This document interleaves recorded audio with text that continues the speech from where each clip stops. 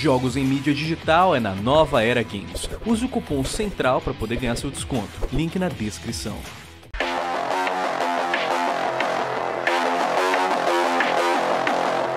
Tivemos a E3 2019, o maior evento gamer do ano, que trouxe grandes novidades de franquias de jogos, games que já estamos esperando há muito tempo e também uma nova geração de consoles. E olha, entre tantas novidades, é claro que algumas acabaram se destacando mais do que as outras, não é mesmo? Afinal, tivemos grandes jogos que realmente acabam sendo o ponto alto da conferência, não é mesmo? Portanto, galera, quem fala com vocês é o Leandro Central e agora eu e o White vamos passar para vocês os melhores jogos da E3 2019. Vale lembrar, galera, isso aqui é uma lista de opinião nossa, tá? Então, assim, se não tem um jogo aqui que você gostou, é porque essa lista é nossa, entendeu? Uhum. Então eu até encorajo vocês a postar pelo menos um top 10 de vocês aqui, os 10 jogos que vocês mais gostaram da E3 e assim a gente debate nos comentários. E vamos fazer então por ordem, cara. Vamos fazer por ordem de conferências, beleza? Sim, vamos, vamos começar com a EA então. Exatamente. Então a gente teve o EA Play, que foi o evento da EA durante a época da E3.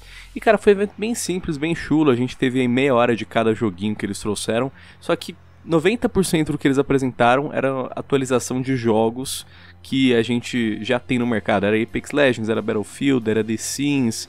Era basicamente com tudo que a gente já tem. Agora, a novidade mesmo foram poucos os jogos. E eu acho que o maior destaque daí, claramente, foi o novo Star Wars, o Star Wars Jedi Fallen Order. Não Ele... foi muito difícil escolher, né? o que mais chamou atenção na conferência. Não teve muita concorrência de peso, né, cara? Mas assim, o game em si tá bonito. A gente tá vendo a volta finalmente de um jogo single player pela EA, é, volta de um single player do Star Wars. A gente tem aquela, aquele clássico DNA que lembra bastante de The Force Unleashed. Então, assim, em geral, parece que é um game que vai ser bem nostálgico e vai deleitar bastante aquela galera que tá com aquela sede de Jedi uh, de verdade, pelo menos de questão de videogame, não é mesmo? Faz tempo que a gente não sente uma coisa assim. Eles prometeram que não vai ter microtransação, então já é um bom caminho. Vamos ver se eles vão cumprir isso, né? Sim. Vamos ver se eles vão, tipo, tentar ganhar dinheiro com DLCs, pode ser, é possível. Uhum. Até porque o game, né, de acordo com os desenvolvedores, vai ter ali 8 horas de duração. Então é um single player de 8 horas de duração com preço full, né?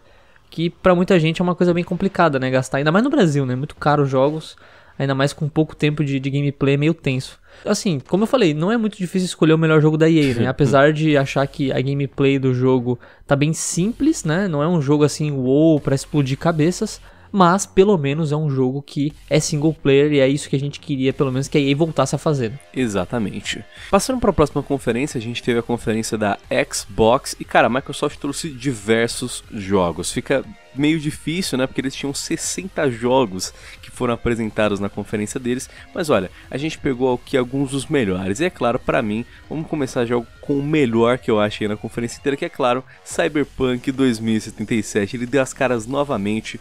Ele tinha dado as caras na conferência da Microsoft no ano passado, ele foi o último jogo a ser apresentado. E cara, finalmente a gente teve, né, um novo trailer, a gente teve notícias de Cyberpunk depois de tantos anos. Ele deu as caras e apareceu novamente esse ano, trazendo uma nova Cinematic, uma data de lançamento e o delicioso do Keanu Reeves, que apareceu tanto em game, que vai ser um personagem, quanto também no palco da Xbox e, né, tirou suspiros de diversas pessoas na plataforma, inclusive ele também retribuiu alguns elogios, não é mesmo? ele não é só o melhor jogo da conferência do Xbox, mas eu acho que o melhor jogo da, da E3 inteira, né? Uhum. Porque é o jogo que tá mais hypado aí, os caras mostraram uma cinemática muito foda. Eu acho que o jogo vai ter um sistema de escolhas muito foda. Eu não sei quantos finais vai ter, mas eu acho que tudo vai impactar no gameplay. Você vai ter diversas formas de jogar. Eu acho que o mundo que eles estão criando vai ser tipo um exemplo de mundo aberto, assim como foi o último Red Dead Redemption em questão de universo vivo. Então eu tô aguardando muito por esse jogo, cara. Mas também tem alguns outros jogos aí muito bons, né? A gente pode citar, por exemplo, o Indie, que é o Ori in the Will of the Wisps, que é a sequência do primeiro, que é o Ori in the Blind Forest, que é um jogo lindíssimo em questão de arte. E a gameplay também é muito insana. E eles estão, tipo, acrescentando muitas coisas nesse jogo agora. O jogo tá marcado para sair em fevereiro e eu tô aguardando muito. E olha só que incrível, Game Pass no dia do lançamento, galera. Por 30 reais você joga o Ori, cara. É realmente uma ótima notícia pra galera do Xbox. Cara, esse game tá hypado há tanto tempo. A gente já viu o trailer na E3 do ano passado. A gente viu o trailer agora nessa E3 novamente. O jogo tá lindo, parece estar tá trazendo grandes novidades em questão de gameplay. E eu também tô muito ansioso para ver como que vai ficar o War in the Will of the Wisps. A gente também teve o anúncio oficial de Elden Ring, cara, esse que foi o, o jogo Surpresa, né? vazado, né? né? A gente teve algumas novidades sobre ele antes da E3, mas nada confirmado. E eles apresentaram de fato na E3, confirmaram lá no palco da Microsoft que ele que seria um jogo entre a From Software, que são os responsáveis por Sekiro, Dark Souls, e quem o criador, né, o escritor do universo de Game of Thrones, cara, o George. Vai morrer todo mundo no jogo. o George R. R. Martin, cara. Ou seja, a gente pode estar esperando um jogo com aquela gameplay de Dark Souls, só que com o um universo escrito pelo uh, criador do Game of Thrones, cara. Então, cara, imagina que foda que vai estar esse universo, esse mundo, as histórias que vão ser contadas. Imagina o potencial que a gente tem no Elden Ring.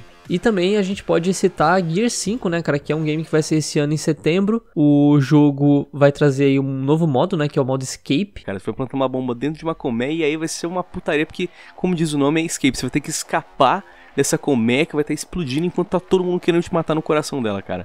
Vai ser uma loucura, Sim. vai ser um jogo com diversos modos cooperativos, vai estar trazendo um modo campanha gigantesco que eles prometem estar explorando ainda mais e se arriscando bastante, e também vai trazer diversos modos multiplayer. Então realmente parece um jogo incrível, gigante, que está com bastante expectativa pela galera da Xbox, não é mesmo? Sim, e não só isso, tem a questão do, do single player, né? Pelo que parece, pelos trailers que eles mostraram, tem uma questão de paranoia ali, de muitas vozes, muitas pessoas, muitos problemas na cabeça da, da protagonista e também parece que o jogo vai ter essa, essa história mais pesada, né, uhum. nesse jogo.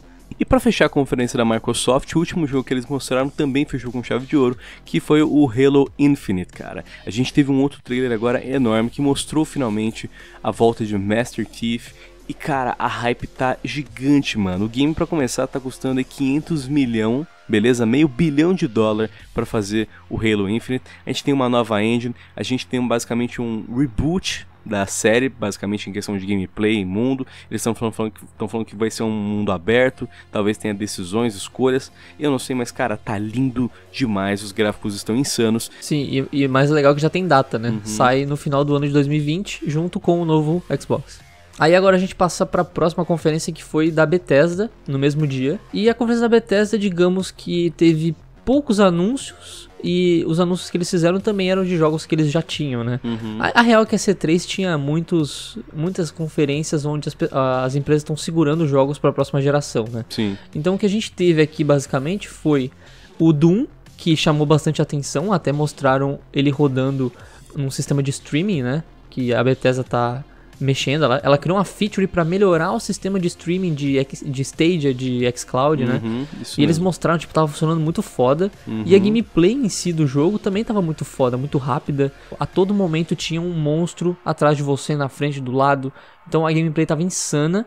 E eu acho que a galera que curte Doom, velho, vai gostar muito desse jogo. Mano, Doom Eternal já falou, vai te levar pro céu, vai te levar pro inferno, vai te levar para outros mundos, dimensões. Então, cara, pode esperar que vai ter muita porradaria é, interdimensional, cara. Tem mais armas ainda, tá mais rápido, tá mais frenético. Tem destruição de cenários, tem outros meios de se locomover e de se andar pelo mapa. Então, cara, Doom Eternal parece ser foda demais. É mais daquele Doom que a gente teve em 2016. Eu tô bem hypado, mal posso esperar para jogar o Doom Eternal.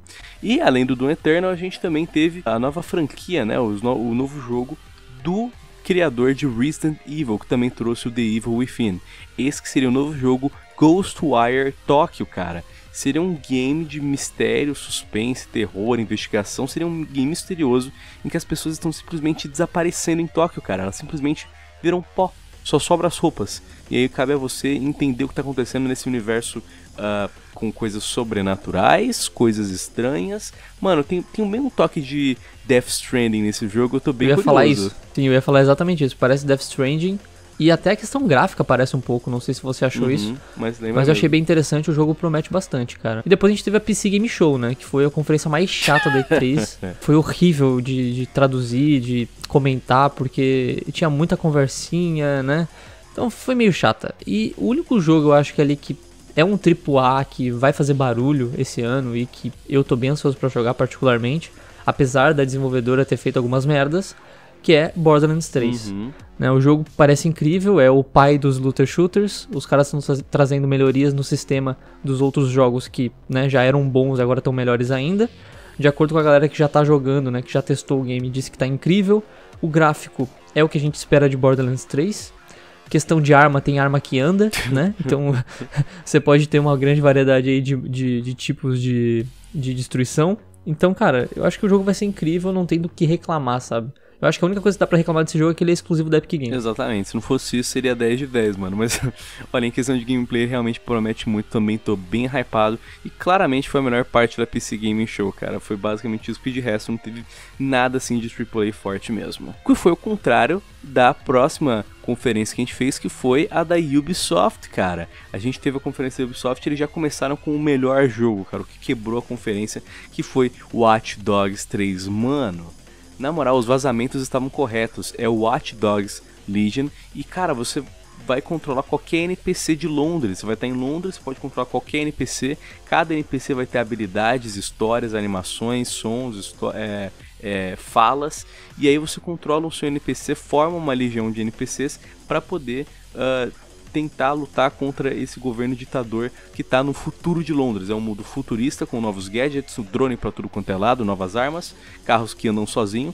E aí agora você vai ter essa legião que inclusive permite que você jogue com uma vovó metendo louco com um Desert Eagle dourado andando para lá e para cá atirando em todo mundo. Então, mano, com certeza o melhor jogo da Ubisoft, cara. E a gente também teve lá o novo Rainbow Six, uhum. né? Que também tava certo, que é o Quarantine, que é um rumor aí que tava rolando antes que vai ser um jogo onde você vai ter uma campanha em cooperativo de Rainbow Six, parecido com o evento que eles fizeram do Outbreak, se eu não me engano esse uhum. era o uhum. nome, e você vai matar alienígenas e vai ser uma proposta bem diferente do Rainbow Six competitivo que a gente tem multiplayer, né?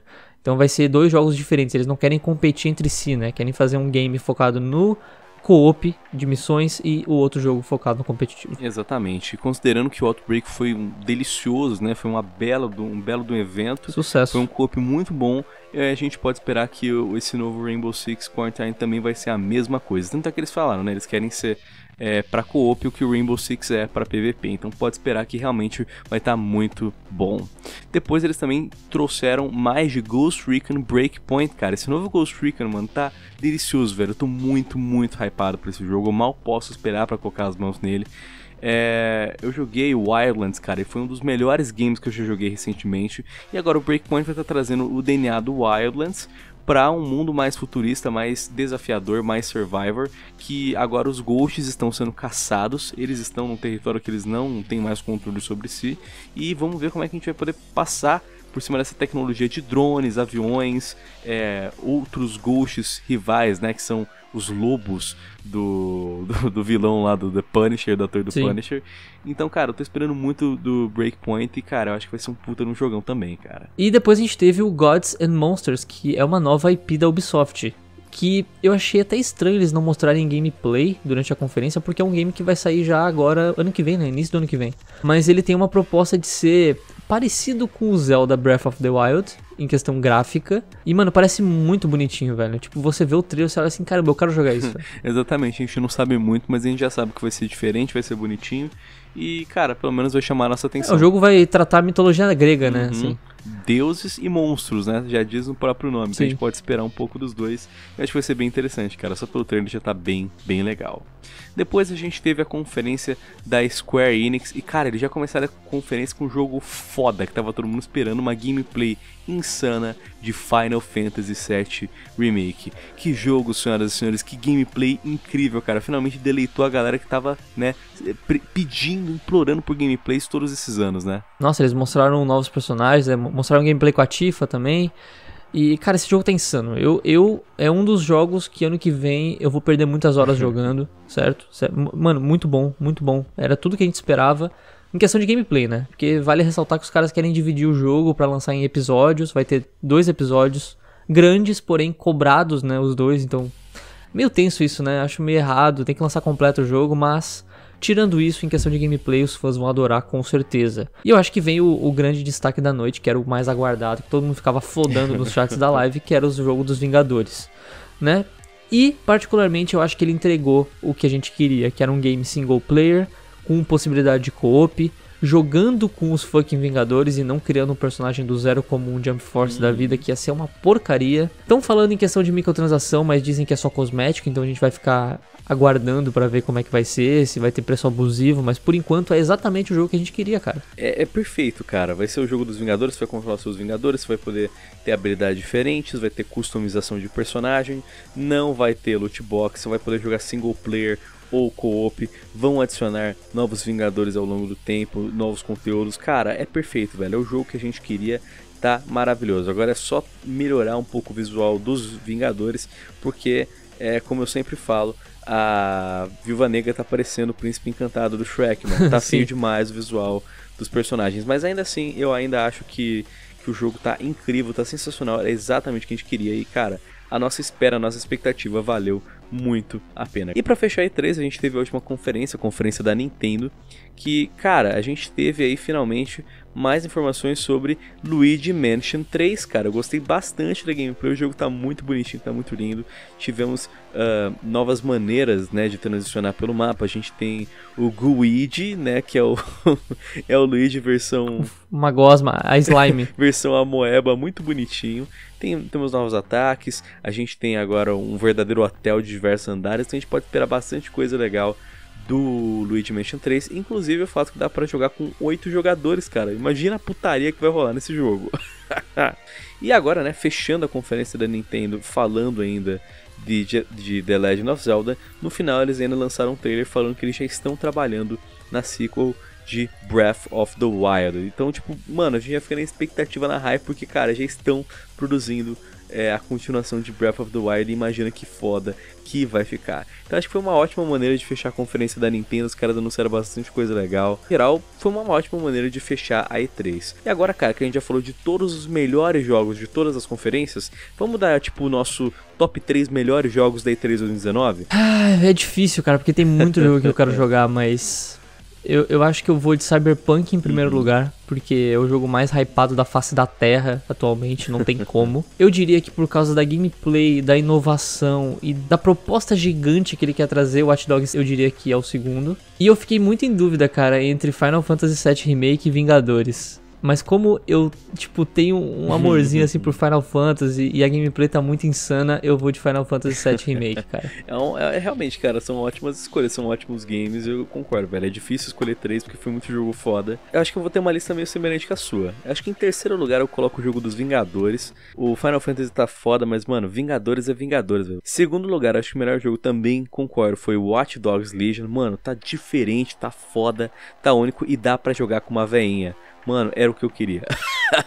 Segundo lugar, Watch Dogs. Em primeiro lugar, é claro, é o Cyberpunk 2077. Ainda vai ser o melhor jogo. Acho que vai ser o melhor jogo dos últimos 5, 6 anos, mano. Na moral. Ele promete muito. Eu tô com uma hype absurda. Eu confio muito na CD Projekt Red. E agora que vai ter o Keanu Reeves, velho. Agora, agora eu já sei que é 10 de 10 mesmo, mano. Porque o 10 de 10 está no 10 de 10. Essa é a nossa opinião. Qual que é a sua opinião? Você que está assistindo esse vídeo. O que, que você achou da E3 2019? Quais são os melhores jogos os que apareceram nas conferências, na sua opinião?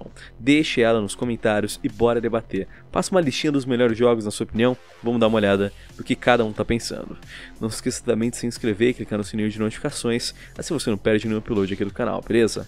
Enfim galera, quem falou com vocês foi o Lion White, muito obrigado pela sua atenção, espero que vocês tenham um ótimo dia, uma boa sorte nos campos de batalha e até mais, valeu!